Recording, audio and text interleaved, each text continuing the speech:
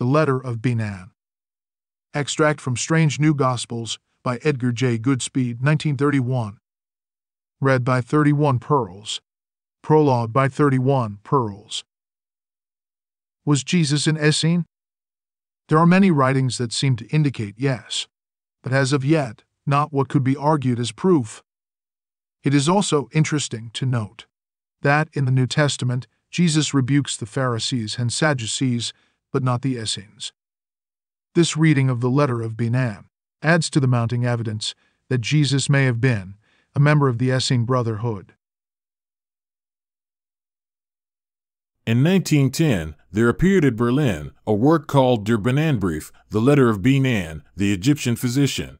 It was described as translated from a Coptic papyrus roll of the 5th century and said to have been itself a translation of a Greek original written in AD 83. The story is in brief as follows. Benan, a priest of Memphis, writes to his friend Strato, once secretary to Tiberius, whom he had met when the eruption of Vesuvius found him in the amphitheater at Pompeii. Herod drove him to escape to Capri and Pliny's galley. In conversation with Strato on that occasion, mention was made of the Christians.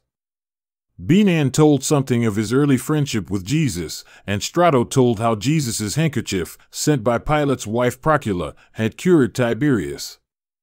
Strato wished to hear more, but Benan had to sail for Egypt. Four years later, in AD 83, Strato is settled at Rhodes and writes to Benan to remind him of his promise to tell his story more fully. Benan's letter is the result. Benan begins with the wise men and the star. Putiphera, an astronomer at Anu Heliopolis in Egypt, is sent to the country of the Apriu by the high priest Renabkru and discovers the star, Siriu.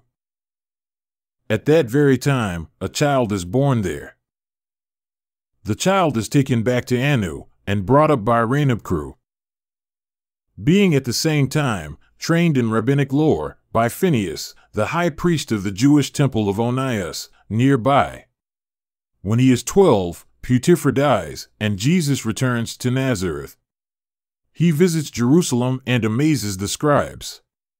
But he soon returns to Leontopolis and Heliopolis, where he comes to know Benan, a youth who is studying to be a physician. Jesus also learns that art and astonishes people with his cures. When Jesus is 26, he is visited by Philo. He has already become acquainted with the Therapeuti, a group of Essenes who practiced healing. Phineas, on his deathbed, charges Jesus to go to his native land as teacher and healer, and he goes. For three years, no news of him comes. Then Asartis, a girl who is in love with him, sends Benan to find him. With another physician named Sates, Benan goes, and on the way learns of Jesus' death. Finding the cross is empty, the friends go to the tomb and there witness the resurrection, of which they afterward informed the women who came to the tomb. They also carry the news of it to Bethany. Jesus appears again and utters his lament over Jerusalem. Then he shows himself in Bethany. And finally, calling the disciples from Jerusalem, he commits to them the preaching of the gospel and takes his departure. Benan returns to Renabkru in Egypt with the news. The phoenix appears, in the temple of the sun, at Heliopolis, in token of the resurrection, and Asartis dies of grief. The second part of the letter tells of Benan's subsequent journey to Italy, where he is unable to help the dying Tiberius. But he becomes the physician of Gaius, and in that capacity visits Gaul and Britain. Later, he meets the leading literary men of Rome and witnesses the burning of Rome in Nero's time and the persecution of the Christians that followed. Benan learns that their founder is his old friend Jehoshua, or Jesus, of Anu. Anxious to learn more of the sect, he visits Paul in his prison, and in that connection meets Seneca and Luke.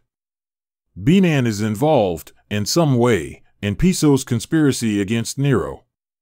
And he accordingly flees from Rome to Antioch. He visits Nazareth and Jerusalem, where he meets James and the Apostle John.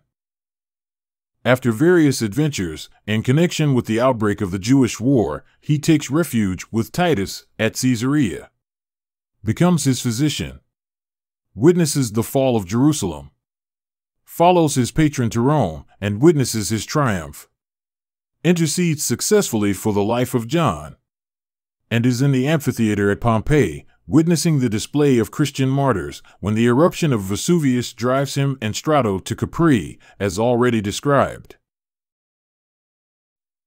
This text was read from Rejected Scriptures.